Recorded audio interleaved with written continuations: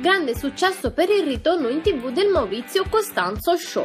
La prima puntata è andata in onda ieri sera e all'apertura del sipario il pubblico ha fatto sentire tutto il suo calore con applausi e standing ovation.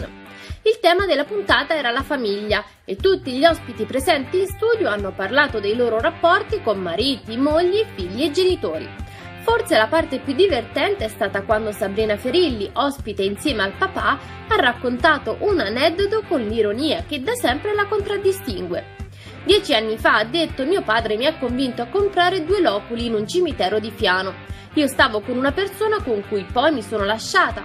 Tempo fa, continua, chiama mio padre per dirmi che era morto il figlio di un idraulico che conosceva, un ragazzo molto giovane, ma che i genitori non avevano un posto dove seppellirlo. Il finale della storia? Hanno regalato uno dei miei fornetti, quindi quando sarà mi coricherò accanto ad un povero Cristo che manco conosco.